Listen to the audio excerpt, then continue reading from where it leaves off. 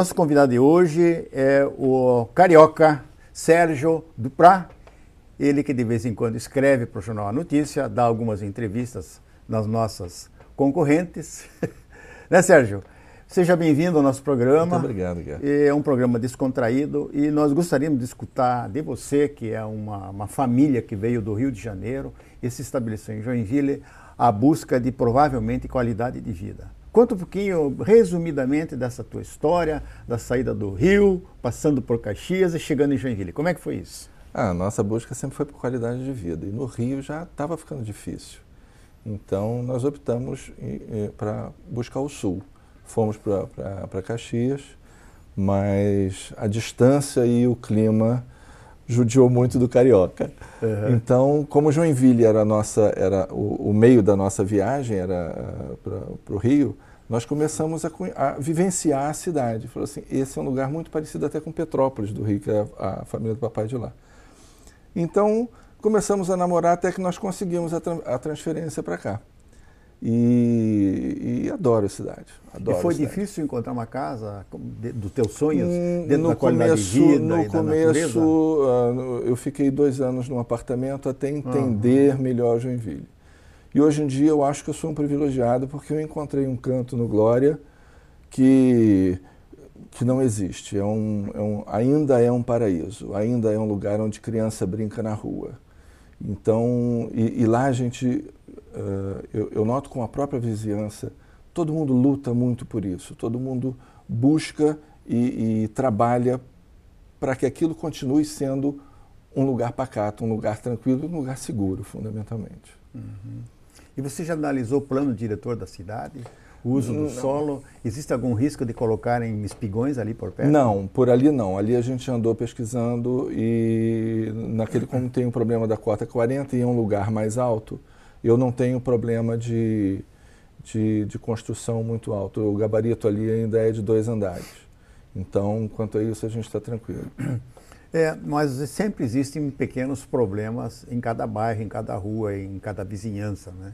É, eu soube, eu vi pela televisão nessa semana que você deu uma entrevista e chamou a atenção de um gerente regional, de um secretário regional, é, para que tomasse conhecimento de um problema que você já tem lá há muito tempo, que é aquele fechamento de um dreno que causa assim uma lagoa é. e uma água parada. É. é. E quando chove muito, você até já me mostrou isso também, já estive na tua rua, e quando chove muito, realmente os carros têm que passar por dentro da água. Né? É, é um bioma, é. um novo bioma em Joinville, porque uh, já temos chapo, perereca, hoje de manhã tinha uma garça, então está muito bonito. Eu, a gente eu, queria mostrar para o prefeito. O Sérgio, quando eu vi o programa teu na outra emissora, eles filmaram aquele lago, eu achei que vocês deveriam lutar pela preservação desse lago. Porque o ecossistema vai se estabelecer num é. equilíbrio é. e não vai ter mosquito nunca dentro nunca. daquele lago. Porque o peixe come todas as larvas de mosquito. E não tem. Não tem larva de mosquito? Não tem, não tem. Não, porque tem peixe. Porque tem girino. Exatamente, é. Vai, vai ter diversos anfíbios ali, né? É, é. as rãs vão começar a fazer postura, vão liberar os novos, novos filhotes dentro da água e vocês vão ter assim um bioma muito interessante. Então, quanto mais retardar a prefeitura com a solução, é melhor para vocês. Falta Quem o Fritz. sabe. Falta o Fritz. É, falta o Fritz. Pois é, isso, mas isso não é difícil de colocar o Fritz lá. O Fritz é o colega do, do meu jacaré que está é. de olho vivo olhando para os telespectadores. Olha que o jacaré aqui, que é o meu Fritz, Fritz do Cidade, da Cidade, ele presta muita atenção e me apoia muito nos meus programas de qualidade de vida e de gestão, gestão ambiental. Sérgio, é, então você está bem instalado, eu vi que você tem assim uma qualidade de vida boa, você tem um ar muito, muito úmido, ele, muito fresco, é, com bastante pureza por causa das florestas que estão fantástico, acima de você. O lugar é fantástico. Você sabe que as matas que estão acima da cota 40, elas têm uma função de trazer para a parte mais baixa sempre o ar purificado e resfriado. Então ele escorrega para os fundos de vale, trazendo a, a pureza do ar a frescura do ar sem poluentes, com bastante oxigênio. Ele oxigena as pessoas que moram abaixo da cota 40. É por isso que a cota 40 em Joinville é tão importante, que é uma das poucas cidades no mundo que então, tem uma cota 40 que exatamente. delimita qualquer construção acima da cota 40. É.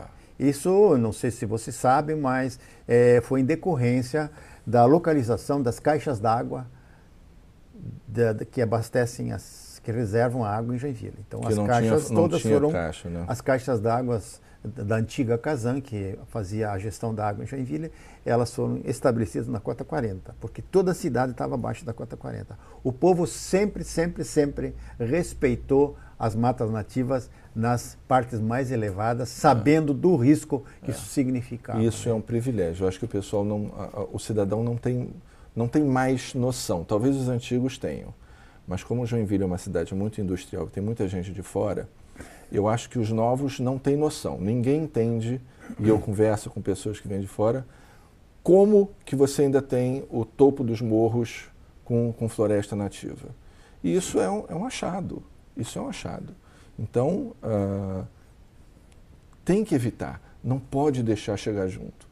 Tem, tem que manter esse negócio intacto do jeito que está. Porque o, o, grande, o grande risco que Joinville também corre é o risco de que quando os empreendedores, os imobiliários estrangeiros que estão chegando aqui em Joinville com muita sede ao pote e que não tem compromisso com ninguém da cidade, são empresas estranhas, imobiliárias, empreendedores que fazem grandes prédios, conjuntos, blocos de concreto, verdadeiros presídios onde vão ser colocadas crianças que jamais vão ver uma galinha na vida. É, tá? É. Então esses empreendedores eh, canibais, alguns deles, sabe, vêm e arrasam com tudo.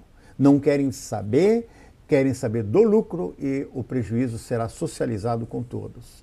Então, Sérgio, isso é uma preocupação e você é um daqueles que entende o que é qualidade de vida, o que é um patrimônio particular investido é. numa reunião, numa região que você quer que ela permaneça quanto mais tempo possível para que você possa criar teus filhos, ter uma boa velhice, sem socos, sem solavancos, sem tapas na cara, sem é. arrastões, sem puxões de cadeira.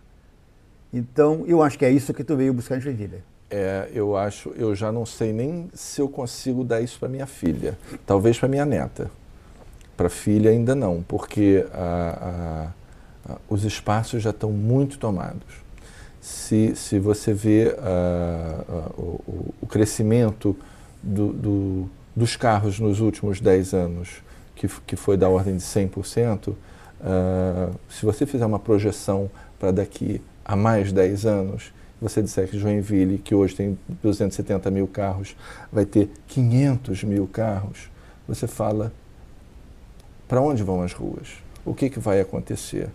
Quem é que vai, quem é que vai uh, direcionar todo esse povo? Para onde que vai a água da descarga desse povo todo? Não, a água não, a merda também. É. é. é. é. A hora, a hora que, bem claro, que, que você verticalizar, é verticalizar, verticalizar, é. verticalizar e todo mundo der uma descarga, a nossa rede pluvial, a nossa rede de esgoto, mesmo essa nova que está sendo colocada agora, não comporta. Joinville é muito plana e a, a, a, o caimento vai ser muito pouco. Você vai ter que trabalhar com bomba, você vai ter que trabalhar com, com elevatória e, e, e vai ser só custo. Quer dizer, eu, eu apesar de, de ser ex-construtor, eu sou contra, sou contra a verticalização. Eu acho muito perigoso a verticalização. Sérgio, ah, num prédio moram 300, 400 pessoas. E as descargas diárias de cada pessoa significa 500 gramas de des, des, despejos. Isso tudo, quando, quando você não tem uma rede de esgoto de frente a esses prédios, esses, esses espigões, você faz uma fossa filtro consumidor. Então o solo vai ficar totalmente empapuçado de, de merda e de urina e é. de outros dejetos, porque e, e, ele vai acabar não conseguindo absorver tudo isso, porque o nosso lençol freático é muito alto em Joinville, certo? E isso vai propiciar nas regiões onde foi construído em encosta uh, o deslizamento. Não, Você... Daqui a 15 anos o prédio racha. Racha. Aí, por que, que o prédio entorta. rachou? Não só ele entorta. É, é. Ele entorta. É. Agora, você que é do Rio de Janeiro e que assistiu de perto a questão de Petrópolis, você pode imaginar, oh. você tem uma visão dantesca é, do que pode é. ocorrer em Joinville é. se a prefeitura e os vereadores é, que estão é, hoje discutindo o plano diretor, e o Conselho da Cidade também está discutindo essa questão, não prestarem muita atenção. Se o setor imobiliário eh, for mais forte do que a vontade dos cidadãos, for mais forte que a luta pela qualidade de vida, nós realmente criaremos aqui um inferno. Eu acho que a, que a gente tem. Uh, uh, o interesse do capital é muito forte, o interesse do dinheiro é muito forte. E usar Joinville como trampolim para outros interesses é, fora da cidade é muito fácil. Que eu acho que aconteceu com deputados, com governador, com, com com muitos políticos que usaram a população de Joinville e que hoje em dia uh, esqueceram que a gente existe. Então, uh, falta comprometimento, falta o síndico. Eu não quero saber do governador, eu não quero saber do senador, eu quero saber uh, primeiro do síndico. Quem é, quem é que cuida da minha antena? Vamos, vamos, vamos. Quem é que vive a minha vida? Sabe como que o meu carro fica estacionado? Sabe quanto gasta o meu prédio? Que horas que meu, minha filha brinca no play? Que horas que eu chego? Eh, se a antena está tá pegando bem? Se tem um vazamento? Se está faltando ar? O síndico ele cuida da, da, do, do, do, meu, da minha vida, da minha vida. Então eu queria que tivesse um prefeito que passeasse nas ruas, que fosse fazer compra do supermercado, que fosse levar filha no colégio e que passasse em todas as ruas passeasse, porque a gente não vê nunca mais ninguém, que passeasse para chegar e falar assim, puxa, o que, que, que, que eu vou fazer hoje para melhorar a qualidade de vida da minha cidade? O que, que nós vamos fazer hoje para tornar a cidade melhor? Eu acho que não pensa nisso. Eu não sei quantas horas por dia um, um, político, um prefeito, um governador, senta na cadeira e fala: hoje eu vou zelar pela população. Ou quantas vezes ele está trabalhando em interesse próprio, em lobby, telefones e, conchavos. Sérgio, o papo tá bom, nosso primeiro bloco está encerrando e vamos pedir aos telespectadores que aguardem um instantinho que nós já voltamos.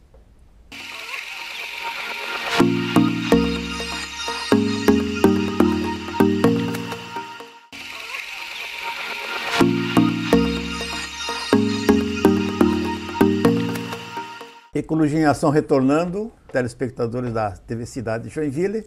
Temos hoje o prazer de ter a companhia do Sérgio Duprá, ele que veio do Rio de Janeiro, largou tudo lá, profissional da área da construção civil. Ele sabe dos problemas da construção civil, sabe muito bem, mas está aposentado.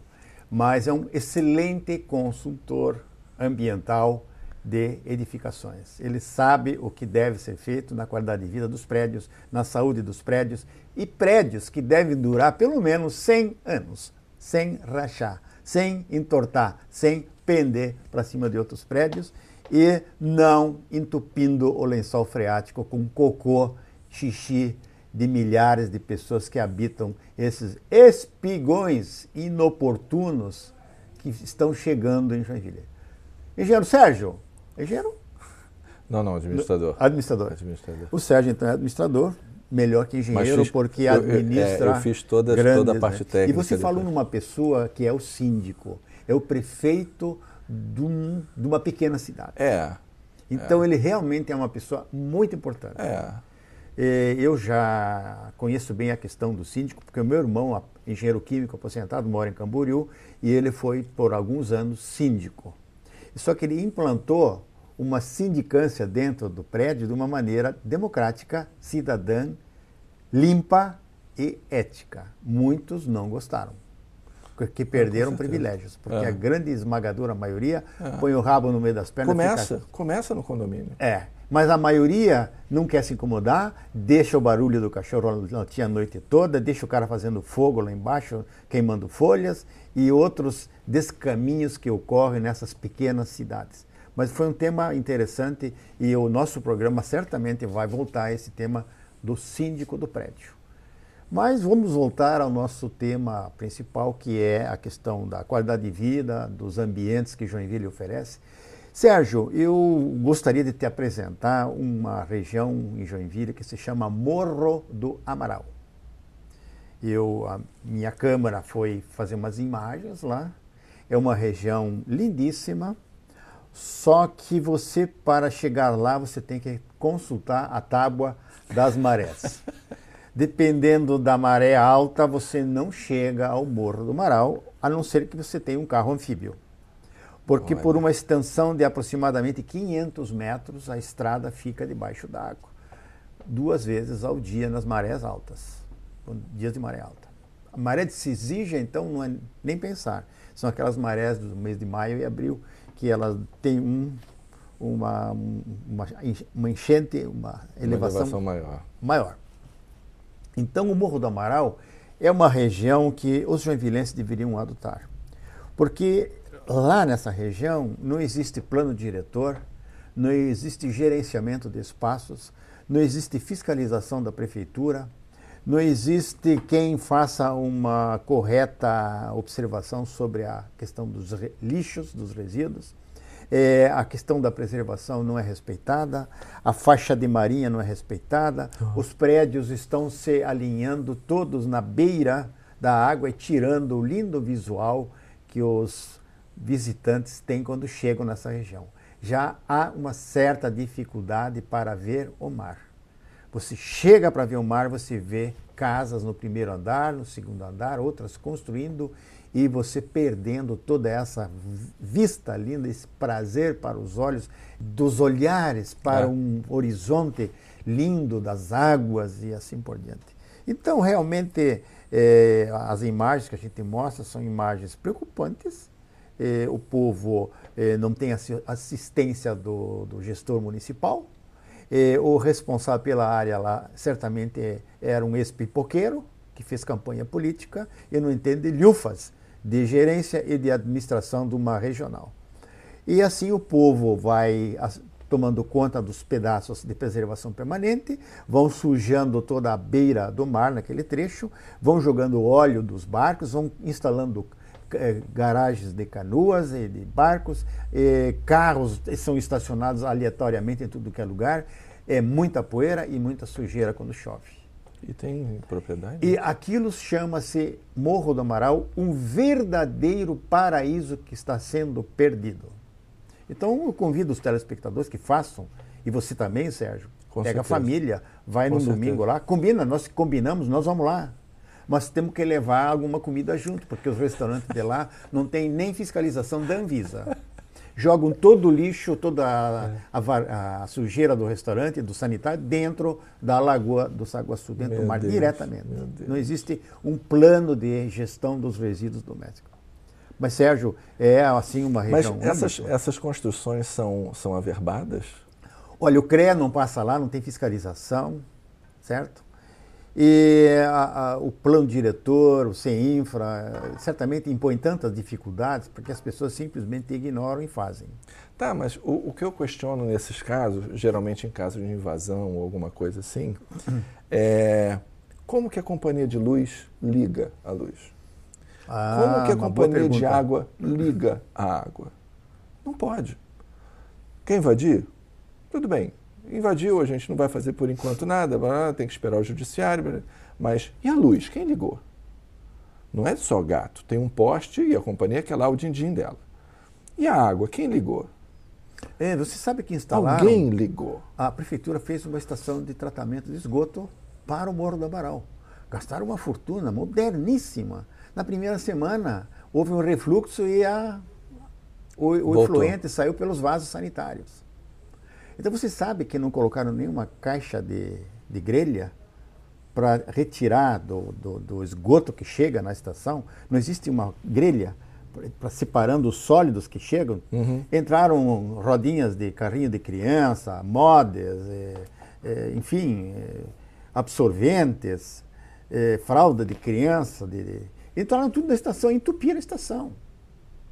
Então, é, o poder público compra, mas não compra com qualidade. E implanta, não tem fiscalização.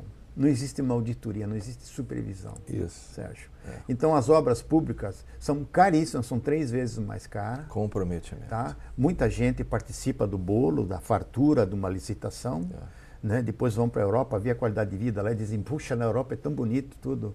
E aqui eles conseguiram detonar a qualidade de vida nas licitações superfaturadas. É. Né? É. Então, não, nós podemos falar isso nesse programa porque a verdade é essa. Ninguém pode contestar isso. Isso é uma verdade. Você e... se lembra do Tancredo Neves? Sim. Lembra que no final, quando ele estava. Com diverculite? É. Que ele, o, o, os, os boletins médicos eram assim: ele desceu mais um degrau e estabilizou. Desceu mais um degrau e estabilizou. Desceu. A nossa política está do mesmo jeito. Tá. Nós estamos descendo um degrau a cada eleição. Exatamente. A cada eleição a gente desce um degrau. Não melhora. Não melhora. Agora, Sérgio, como é que o povo pode reagir? Será que o povo, se tirar o bumbum da cadeira e ir a campo, lutar por qualidade de vida, é, fazer a, pedir a retirada de um político do, do, do assento dele? Será que o povo não consegue isso? Falar, falar falar, botar para fora, botar para fora, botar para fora, acostumar a televisão, jornal, e-mail, uh, adesivo no carro. Você acha que papel. falar adianta? Uh, quando, quando, quando você consegue mobilizar um, quando um grupo um para falar. Quando um juiz do Supremo oh. Tribunal, um afrodescendente, diz que ninguém põe um político no Brasil na cadeia, é. o que, que você acha que o político pensa dos babacas que pagam imposto? Minha filha de 9 anos me perguntou isso. Pai, por que, que ele não é preso? Eu não soube responder. Então. Então, é esse é o ânimo que nos faz pagar tanto imposto. É. E se você não paga, se perde tudo. Ah, é. Te tiram tudo. Para tirar, eles são bons. São bons. É, parece que todo o serviço público só trabalha para arrecadação, fiscalização e processos na justiça para tirar de, na marra o patrimônio que as pessoas amealharam com tanto suor, pagando tanto, tanto imposto. É porque é fácil. É fácil, É né? fácil. É fácil você acharcar a classe média. Porque a classe média é induzida a consumir, ela não tem tempo. A, não, a classe média não tem tempo para gritar. Tem que pagar o carro, tem que pagar o banco, tem que pagar o condomínio, tem que pagar o aluguel. Hum. Aí é, é uma forma dela não se manifestar. Exatamente. Você vê essa greve da prefeitura agora. Uh, o povo o povo está tá chegando no limite, chegando no limite. Até onde que a gente vai? Por que, que, por que, que o prefeito não chega e fala assim, olha, eu vou dar um tiro político na cabeça. Tá, eu não vou ser mais eleito, vou incorrer lá no crime de, de, de, de, de do, do, excesso de gasto, mas vou dar um aumento. Dou um aumento para vocês, mas vamos fazer o seguinte: vocês, a partir de hoje, vão ser os melhores funcionários municipais deste país. Vão botar um pirulito no meio de toda a repartição pública para que vocês sejam julgados pela população. E eu dou o aumento que vocês quiserem, mas a população vai sair daqui assim isso vai reverter. Eu nunca mais vou ser eleito, eu nunca mais vou conseguir me, me, me reeleger, eu mato a minha vida política aqui. Mas o problema social de Joinville vai estar aqui. Qualidade do serviço municipal vai ser 10. Vocês querem um aumento? Vão ter um aumento. Mas vocês têm que servir. Vocês têm que tratar a população no colo. Vocês têm que fazer com que toda a máquina da prefeitura alcance o cidadão. Esse é o serviço do, do, do, do funcionário público, do servidor municipal. Que é pago pelos, pelos impostos. Que é pago pelos impostos. Por nós. É pago. O aumento, o, o, o, a reivindicação é justa? É justa, mas tem que ser cobrado. Tem que ser cobrado. O cidadão tem que sair de lá feliz. Falar assim, puxa, que bom, que bom que nós demos aumento para os nossos funcionários. E, e sair com todas as suas necessidades é, atendidas. E bem atendidas. Não é uma hora de fila, duas horas de fila, é, é, esperando o, o, um funcionário te atender como se estivesse fazendo um favor. Agora vão atender com hora marcada. é, vou atender com hora marcada. Daqui para frente. Daqui para frente. É. Então, o atendimento, por exemplo, daqueles que chegaram é, 200 lugares na fila é para o ano de 2013. Vai ser assim.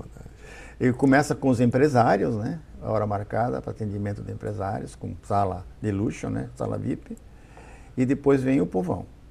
O povão também vai ser atendido com hora marcada. Ah, faz a Caixa Econômica. Mas se o povo pudesse votar. Saiu, ficou satisfeito? Aperta o botãozinho. Ficou é. satisfeito? Aperta o botãozinho. Se não gostou, aperta o botãozinho. E aí a gente usa isso no próximo momento. É. a gente usa isso na próxima eleição. Mas, Sérgio, eu vejo que o nosso segundo bloco também já está terminando, Puxa, né? Mas o, a conversa, assim, com pessoas inteligentes como você, bem Obrigado, informadas, eu, o você é um cidadão, né? Porque para mim um cidadão é um cidadão que lê, que estuda, que escreve, se manifesta e tem coragem de criticar o que está mal feito e de exigir que o imposto seja bem aplicado, sem motretas de licitações públicas, sem ah, motretas ah. de corrupção e assim por diante. E prioridades no investimento do dinheiro público. Não pode ter uma prioridade que de momento não interessa e, e são gastos milhões, principalmente milhões em mega projetos antes ah. das campanhas políticas para fazer fundo de de campanha. É. Esse que é o desastre é. no Brasil. É. Então, durante dois anos, o prefeito Carlito não investiu nada em Jarguilha. É. Ele vai começar a investir daqui para frente porque está chegando a eleição. Então, ele fez, não paga muitos empreiteiros. Esses dias eu fiz um programa, fui injusto até com a Engepasa. Eu disse que a Engepasa não está limpando as ruas com, a, com aquelas equipes uhum. de dezenas sim, de sim. amarelos limpando sim. as ruas, pintando meio fio. É porque eles não recebem há dois anos. Eu falei com os empregados da Engepasa, disseram, não, o patrão não está recebendo, ele está aguentando com a arrecadação que ele faz direto do, da taxa de, de lixo, de limpeza. Então, como é que uma empreiteira, os terceirizados, pode fazer um bom trabalho para o um município se eles não recebem? Se esse dinheiro está sendo usado para campanha, para outras finalidades, para contratar comissionados, é. para compra de votos. Então é muito complicado. é complicado. Mas o programa, Sérgio, Vou te deixando mais uns, uns segundos aí para você se despedir nos meus telespectadores. Você está me deixando com água na boca. Porque tinha tanta coisa para gente, a gente falar, para a gente mudar, para gente, a gente lutar realmente. E trazer o nome deles do jeito que você está fazendo aí, isso é um trabalho fantástico. Trazer o nome deles para a gente saber quem é quem, para a gente saber quem é que assina, para a gente saber quem é que decide. Ok. Ecologia em Ação, acaba assim mais um programa, nos despedindo dos telespectadores e agradecendo ao Sérgio Duprá pela Obrigado gentileza que teve em fazer companhia a vocês, telespectadores. Um abraço a todos, até o próximo programa.